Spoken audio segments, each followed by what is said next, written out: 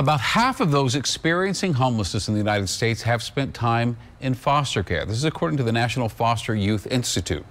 Well, now Colorado is launching a program to try to prevent foster children from ending up in the streets. Denver 7's Danielle Kreuter explains how it works.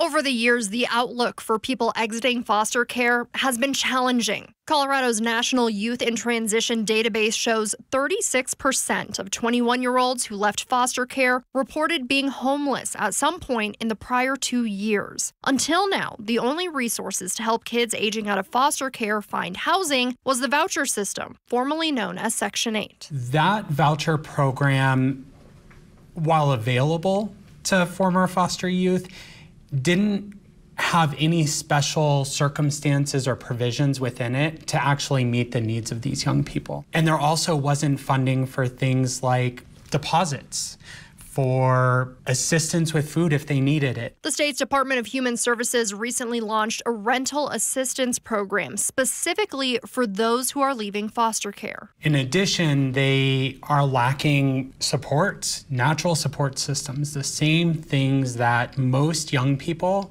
leaving their families or their homes or transitioning to adulthood would have when they're becoming adults. The new program would assign a case manager to applicants to help them navigate their new life on their own in addition to that money for rent.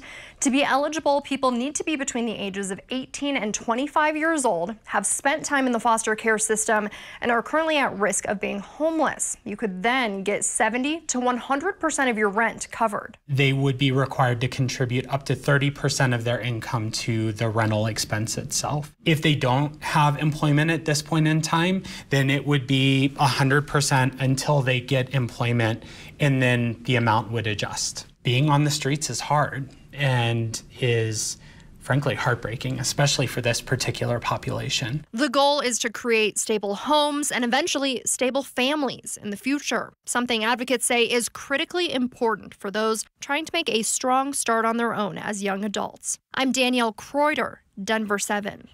And that program has been funded for up to 100 applicants. 45 have been pre-approved. And if you're interested in applying for a rental voucher, we have all the information you need on denver7.com. Just look for this story.